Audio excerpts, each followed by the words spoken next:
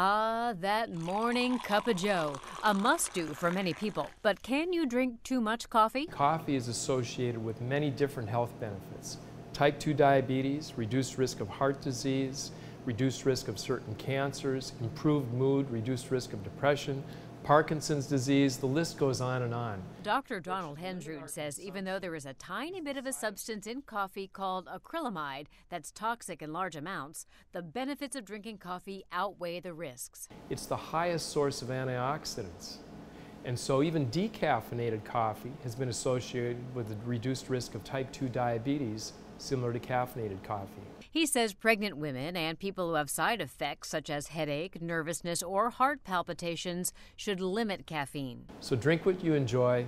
If you're susceptible to the effects of caffeine, decaffeinated coffee is an excellent choice. For the Mayo Clinic News Network, I'm Vivien Williams.